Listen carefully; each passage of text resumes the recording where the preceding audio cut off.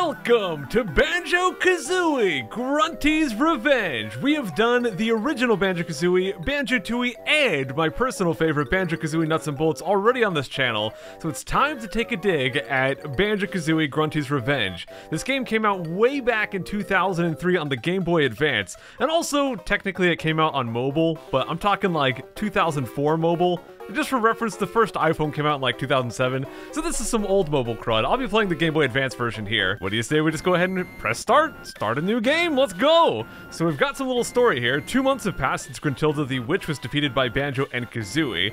Uh, after falling from her tower, Gruntilda was buried underground, where she remains waiting for her sisters to rescue her until this very day.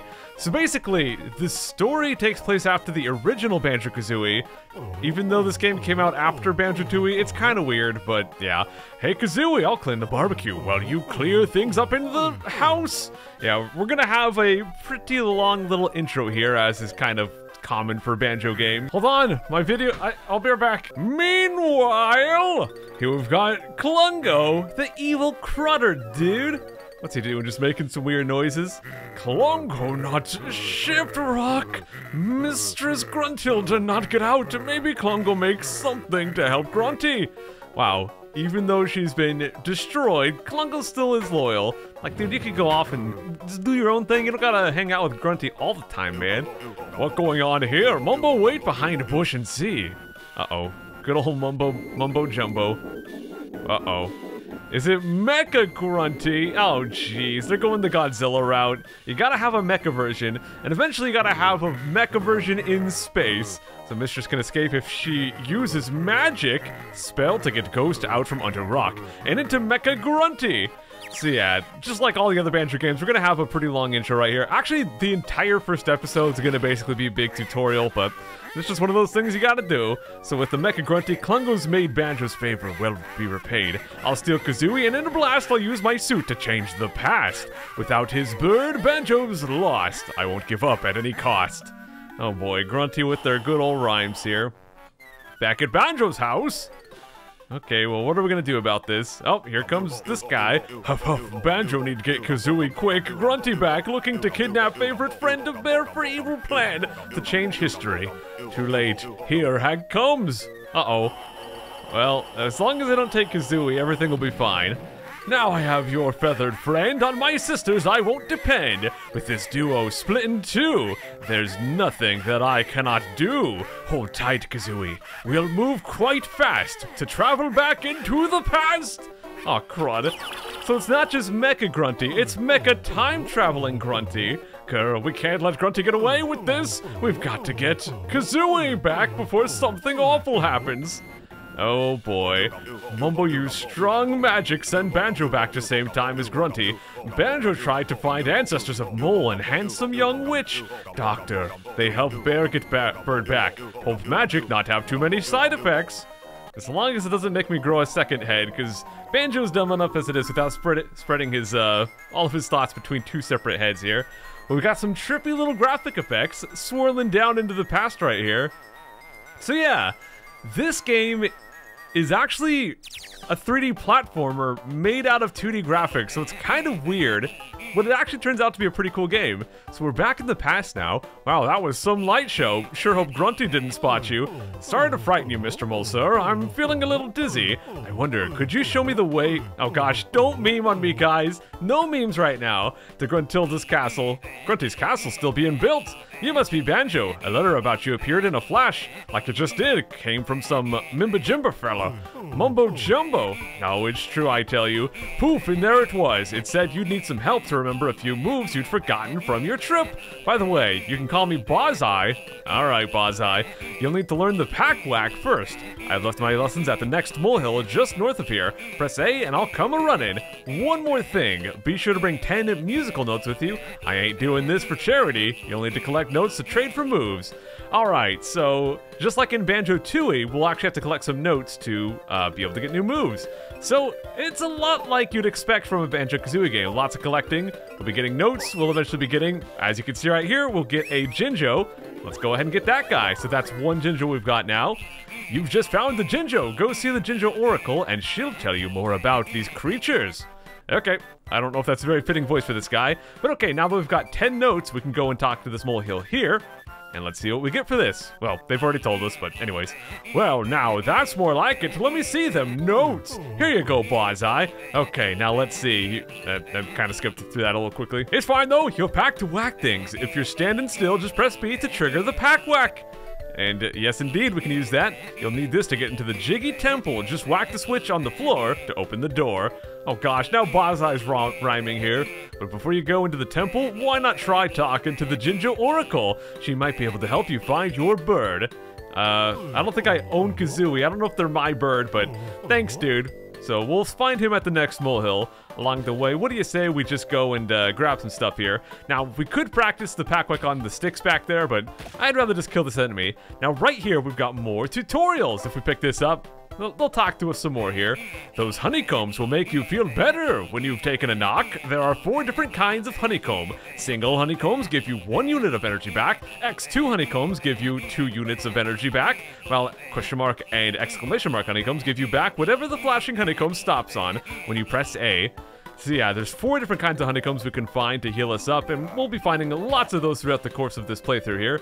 So there is the Jinjo Oracle. We've got one out of five. What do you say we go and talk? Why did you disturb the great oracle of Jinjo? I'm sorry to bother you. I was wondering if you could help me find my friend Kazooie. Seek the scattered Jinjos and return to the oracle. Then the oracle will reveal all the secrets of Jinjodom. With a press of A. Ooh, mysterious. Not really, Banjo. The oracle does not get around much and requires fresh gossip from lost Jinjos. Impressive. You knew my name without uh, asking. It is written all over the manual. Oh, thanks, Mrs. Oracle. I'll go find some Jinjos and call back later. Alrighty then, Gruntilda has cast a spell on the Jiggy Priest. He needs our help in his temple to the south. Alright, sounds good, buddy. So we're gonna go down here and look for some more notes along the way. Now, actually in this first area, well, I should go and show you guys here. Well, first off, we have some options, but that's basically this text speed. Actually, I'm gonna put that on the fast, why not? We can change the sound effects and the background uh, music volumes. But also, if we go look at our totals, you can see there's gonna eventually be 100 notes in this area, just like the areas from the original Banjo-Kazooie had. But right now, the most we can possibly get is just 25. We've also got some evil-looking crud over here, but we can't quite get in there. So instead, we'll just kill off some of these enemies. Keep looking for more notes, getting up to that 25 there. And also, I want to make sure I break this. You can see it's kind of sparkling. And inside, we've got an empty honeycomb piece. Let's see what that does. I mean, if you've played Banjo games before, you know, but looks like you've just picked up your first hollow. Okay, okay, I called it empty, but hollow, whatever.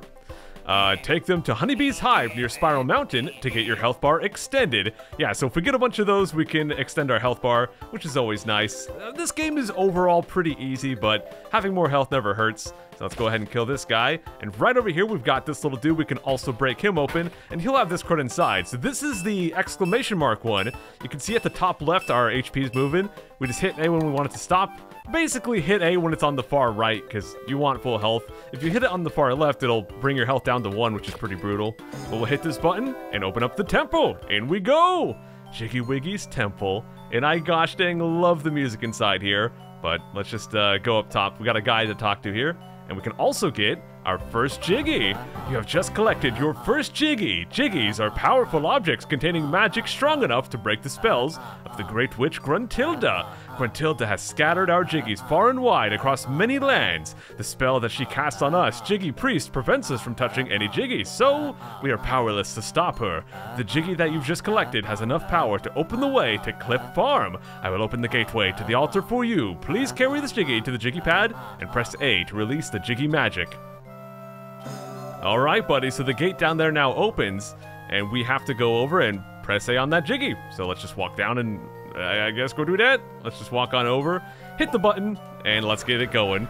And this should open up that uh, area we saw before. It was looking kind of evil, but now that we've done that, the red stuff will go away. I mean, it still looks evil, but it looks like we can actually go inside there now. So let's go take a look at our first actual stage. Not this hub world here, but our first real stage, which is going to be Cliff Farms. And the cool thing, we go into Cliff Farm, as soon as we get in, because we collected all 25 notes outside, we can talk to this guy and immediately get our next new move. Right, Banjo, it looks like you've got enough notes to learn the underwater dive. Great, I can't wait to take a dip into some water crevices.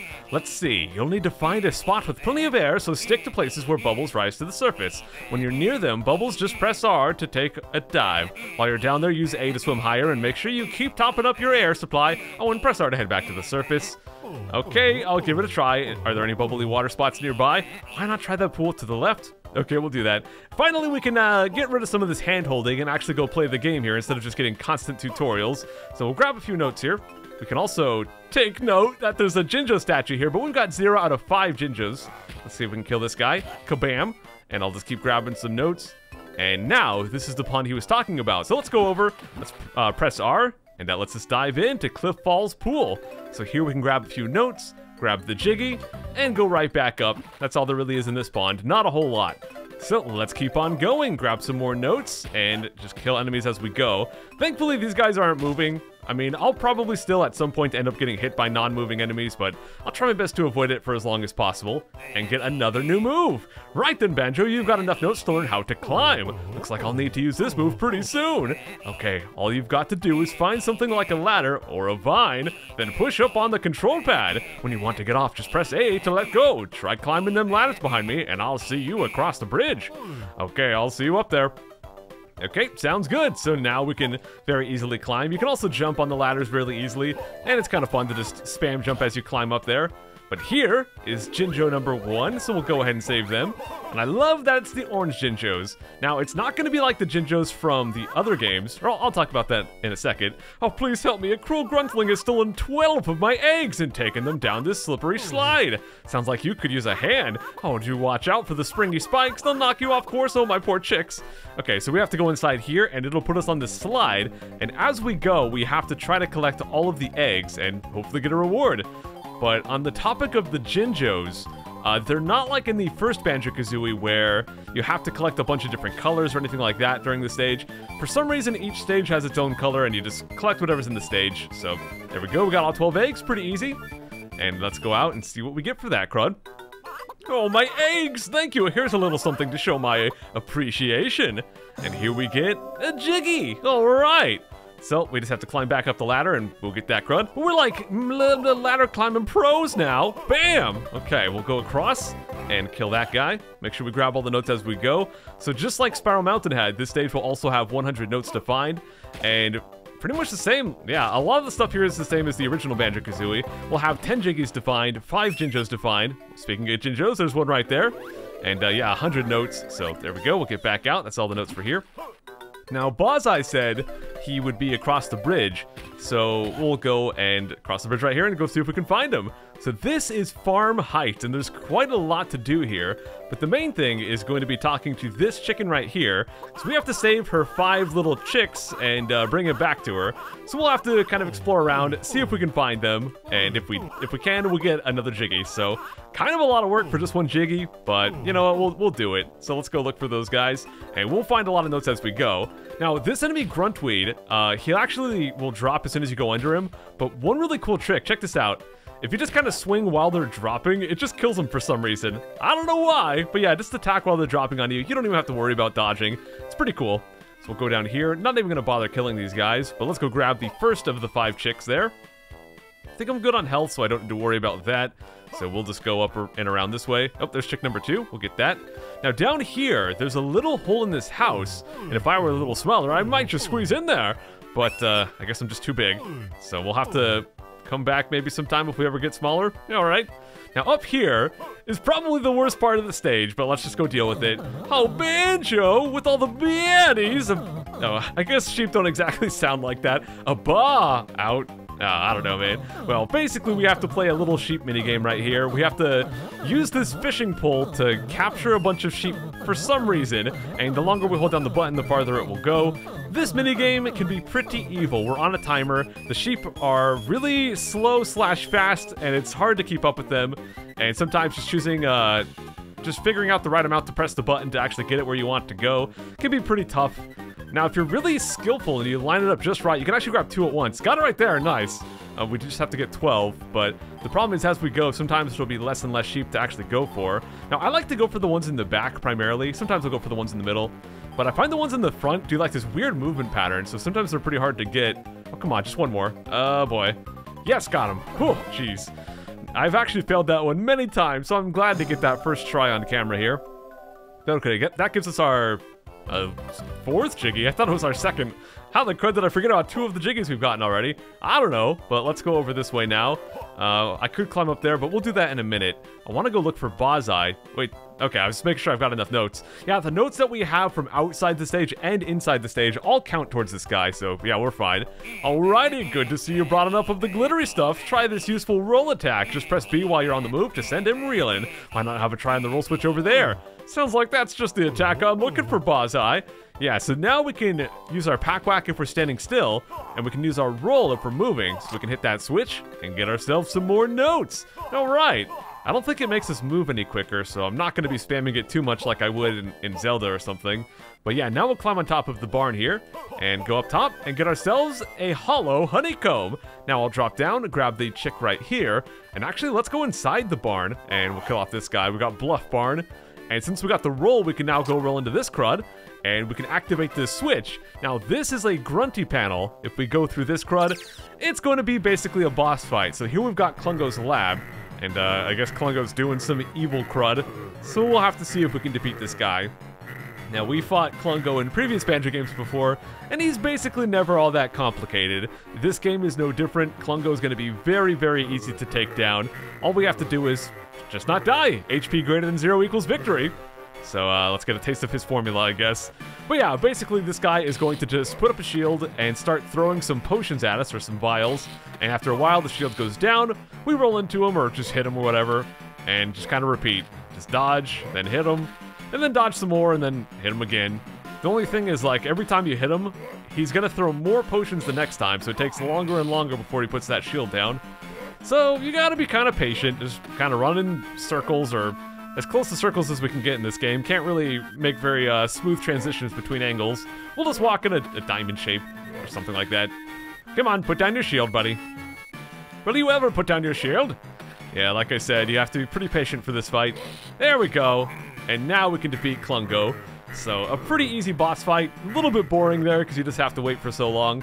And yeah, you, you might have noticed all the health around, so if you do get hit, you can just pick that up and it's pretty easy. But right here we get a Jiggy, but also something else. Let's check that one out. So right here, what a brave bear! You've knocked some magic out of Grunty and Klungo. Take this token to Mumbo Jumbo, the witch doctor. He might be able to find a use for it. Yes, so if we bring that to that guy, uh, to Mumbo Jumbo, then, well, I'll just tell you guys, just like previous games, we can transform. And uh, we need to get smaller to go inside there. I think you guys can put two and two together. We gotta go to Mumbo Jumbo to transform, so we can actually fit, uh, fit inside those holes. So let's go do that, Crud. We'll just grab some notes along the way, because Mumbo Jumbo's house is actually back here. Let's grab that uh, chick there. And in we go to Mumbo's pad. Let's go talk to him. Banjo have new totem for Mumbo Magic. Mumbo hope this turn out alright. Mumbo change Banjo to something now? Sure. Let's go ahead and hit yes. So if we didn't have the Mumbo token, we couldn't do this right now. So what can we transform into? Well, basically, we can transform into a stinking rat. Yeah, I mean, I guess that's technically smaller. Although I think by rat standards, this is actually a pretty large rat.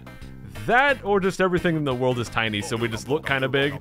But yeah, we can go squeeze into small passages now. The only problem is, uh, when we're in this form, if we jump into water, we'll instantly die. So there are some goodies in the water around here, but I'm gonna wait until we're done with the rat form before we do that. So the first thing I want to do is go inside here, get past this guy, or, or take damage, that's fine. And inside here we've got a few notes, but we've also got a Jinjo, so we'll grab him.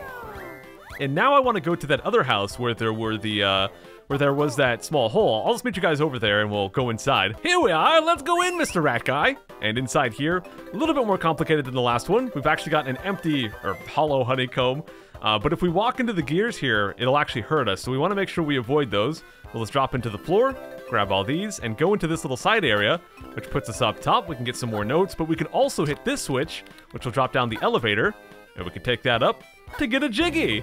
And now we can just drop down and get out of this place. And that is actually all we want to do with the rat. So I'm going to go ahead and head back to Mumbo's and turn back to Banjo. Okay, so we're back as Banjo. Now that we can safely go inside the water, I actually want to drop into the water down here because there's a lot of goodies to get. Of course, we got some notes, but there's also a Jiggy and a Chick right here. So there's the final Chick.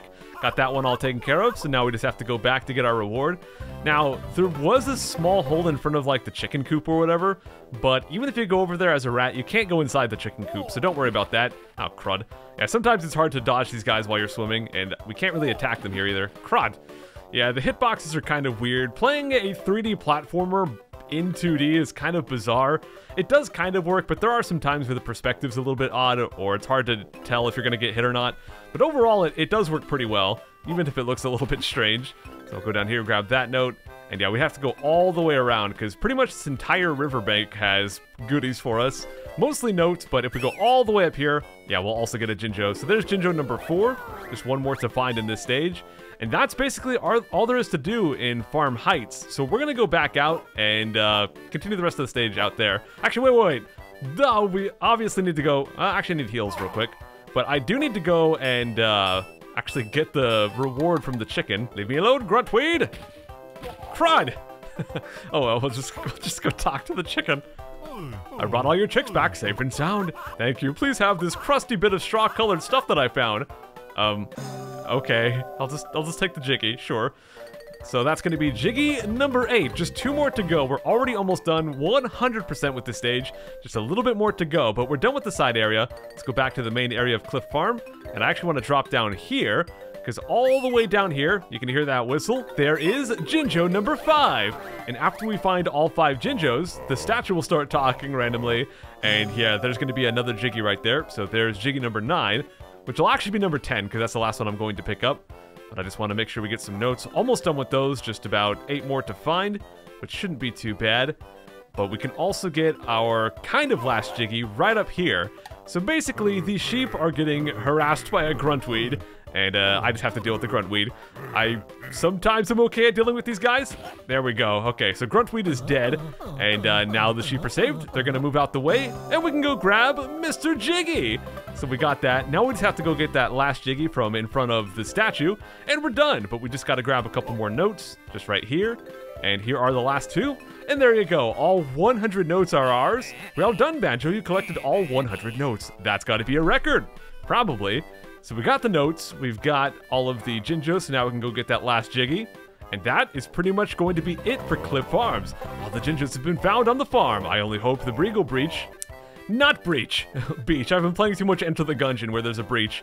But alright, so there's that. Now if we go and look at our totals down here, you can see we've got all the empty honeycombs, or hollow honeycombs, whatever. We've got all of the uh, chicks, all of the Jinjos, all of the everything. This stage is done. And with that, everyone, we are going to wrap up this first episode of the series. Now, this game is really short, so it's probably only going to be about six parts until we're done.